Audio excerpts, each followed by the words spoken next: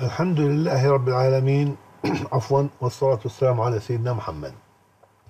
أحبة الطلبة والمتابعين لهذه القناة التعليمية حيثما كنتم السلام عليكم ورحمة الله وبركاته. أقدم في هذا المقطع القصير جدا ما يسمى بمقاييس النزعة المركزية Measures of Central Tendency. أرجو أن يكون فيه الفائدة لكم جميعا وعلى بركة الله نبدأ.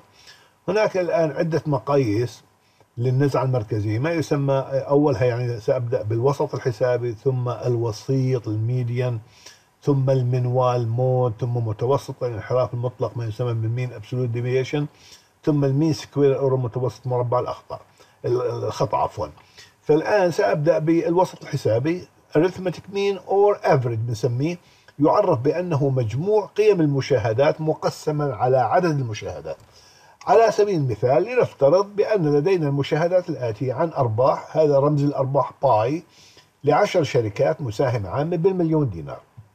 الآن هذه ترتيب الشركات واحد اثنين ثلاثة إلى عشرة عشرة شركات أو عشر شركات هذه الأرباح عشر قيم عن الأرباح فالشركة اللي بدينا بها الأولى كان خمسة ملايين دينار ربحها.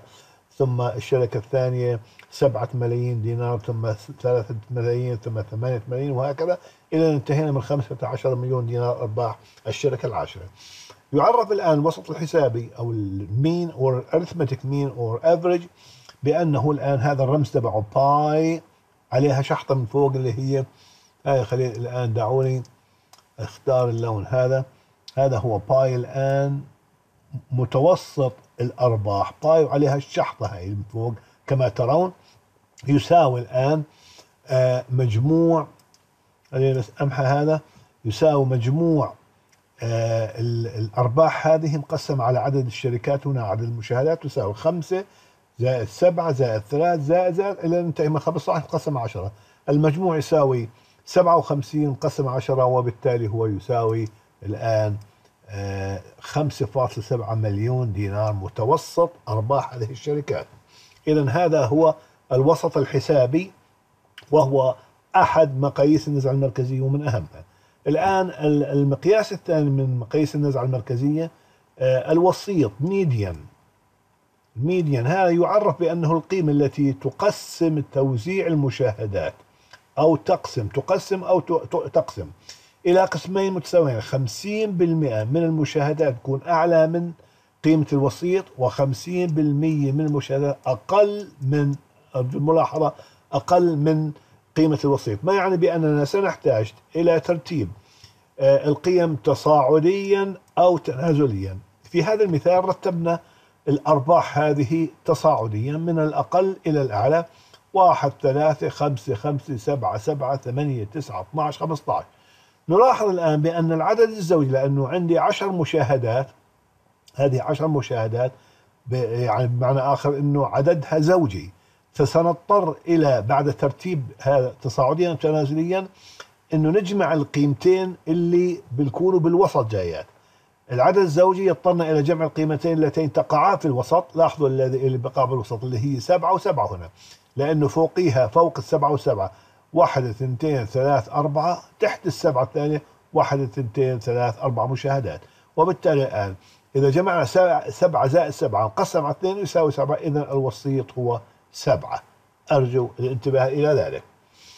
الآن المنوال مود يعرف بأنه أكثر القيم تكرارا. القيمة الأكثر تكرارا. عندنا عند التدقيق بالقيم نجد بأن هناك منوالين. هناك منوالين المنوال الأول هو خمسة لاحظوا لي هنا الخمسة هذه تكررت مرتين والسبعة تكررت مرتين. أوكي؟ ضروري جدا تنتبهوا أحبتي. الآن خليني بس أمحى هذا مشان ما تكون كل شيء واضح بالنسبة لكم. فعندي الآن آه الخمسة هذه تكررت مرتين والسبعة تكررت مرتين. ما يعني الآن بأن لدينا منوالين؟ وهذا يعني آه أنه الآن خمسة هي المنوال الأول الأقل ثم الأعلى هو سبعة. هذا التوزيع بالحالة هاي نقول توزيع ثنائي المنوال باي موديل. مهم جدا. آه الآن رابعا متوسط الانحراف المطلق. mean absolute deviation ويعرف بأنه الانحراف المطلق للقيم عن أي قيمة يختارها الباحث. ضروري. لكن في 99% من الحالات الباحثين يختارون في معظم الأحيان الانحراف المطلق عن الوسط الحسابي أي بيختاروا القيمة التي ينحرف عنها مثلا الأرباح عن متوسط الأرباح. فالآن اخترنا أن الوسط الحسابي كما ذكرنا هنا الوسط الحسابي هو القيمة التي سنجعلها معيار لانحراف هذه القيم عن الوسط الحسابي. وبالتالي خمسة مطروح منها 5.7 تساوي فاصل سبعة مطروح منها 5.7 تساوي واحد وثلاث بالعشرة. ثلاثة مطروح منها خمسة وسبعة بالعشرة تساوي اثنين وسبعة بالعشرة. إلى آخره أخيرا 15 آه، مطروح منها 5.7 تساوي 9.3 بالعشرة. أما الآن متوسط الانحراف المطلق هذا متوسط الانحراف المطلق فهو مجموع هذه القيم قسم على 10 كما هو يساوي 2 طبعا مطلق شو المقصود فيها؟ إنه الآن الفرق قد يكون سالب أو موجب لكن أخذنا القيمة المطلقة أهملنا الإشارة السالبة. وبالتالي الآن مجموعها يساوي 32.6 بالعشرة مقسم على 6 ويساوي الآن MAD اللي هو mean absolute deviation هذا يساوي 3.26% خامسا وأخيرا الآن متوسط مربع الخطأ mean square error لأن هذا الخطأ اللي هو mean ال absolute deviation نقوم بتربيعه. لاحظوا لي هنا ربعنا الخطأ هذا ثم هذا ثم هذا وهكذا اللي هو الفرق. يعني المقصود فيه الخطأ المقصود الفرق بين كل قيمة والمتوسط الحسابي للكل فالفرقية الآن هذا الفرق فاصل سبعة واحد ثلاث بالعشرة اثنين سبعة بالعشرة وهكذا إلى انتهينا من تسعة فاصل بالعشرة نربع هذه القيم. فتربيعها أعطى هذه القيم اللي هي تسعة وأربعين بالمية واحد فاصلة تسعة وستين سبعة فاصل تسعة وعشرين خمسة فاصل تسعة وعشرين وهكذا إلى أن انتهينا آخر قيمة ستة وثمانين فاصلة آه، تسعة وأربعين. جمعناها الآن وقسمناها على العدد يساوي مية وستة وسبعين فاصلة واحد بالعشرة على عشرة. اذا ال mean square error هذه قيمته مهم جدا تساوي 17.61